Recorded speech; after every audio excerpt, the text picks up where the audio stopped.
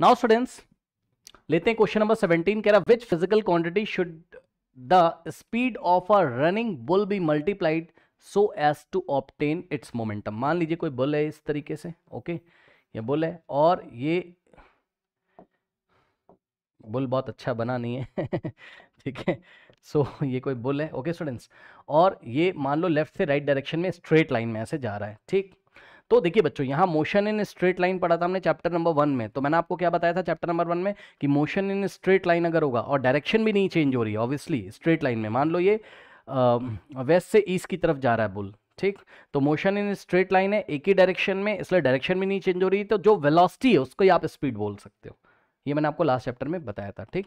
तो इसलिए क्वेश्चन में उन्होंने हमसे क्या बोला है कि which physical quantity should be should the speed of a running bull तो मान लो इसकी स्पीड कितनी है? वी वी क्या है इसकी? स्पीड है। ये वी स्पीड से इस डायरेक्शन में ऐसे जा रहा है बुल ठीक? तो which physical quantity should the speed of a running bull be multiplied यानी कि स्पीड में कौन सी फ़िज़िकल क्वांटिटी से आप मल्टीप्लाई करोगे कि आपको क्या मिल जाए इसका? मोमेंटम मिल जाए ओके okay? तो अब आपको पता है कि मोमेंटम कैसे मिलता है? मोमेंटम क्या होता है? पी पी का मतलब क्या होता है? मोमेंटम होता है। पी का मतलब क्या होता है? मोमेंटम होता है। ओके स्टूडेंट्स तो मोमेंटम हमको कैसे मिलता है? मास इंटू वेलोसिटी पता है?